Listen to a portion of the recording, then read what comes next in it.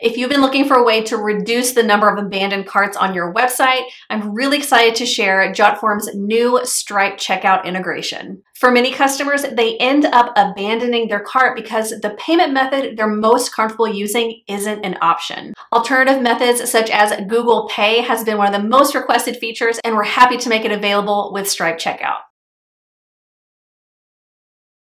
Hey everyone, welcome to JotForm. My name is Kimberly, and before we jump into the mobile version, I wanted to show you what it looks like for you as the creator creating this form with Stripe Checkout. So if you don't already have a form, you'll definitely want to create a form. I already have one that started, so I'm going to go up here to Order Form. I'm going to click Edit Form.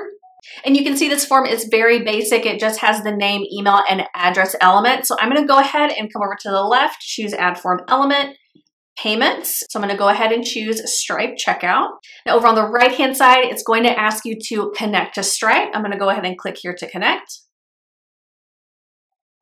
And we can see that I am officially connected. Go ahead and click continue and this is where you're going to add your options for your shop.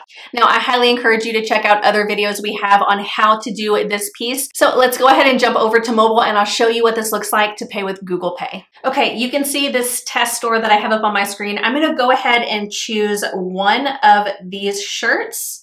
I'm gonna scroll down to the bottom and we can see that the tax and the shipping is already added in for us. I'm gonna go ahead and click submit it's taking us to Stripes checkout. And you can see that Google Pay populated. So I'm gonna go ahead and click on GPay. Gonna go ahead and click pay.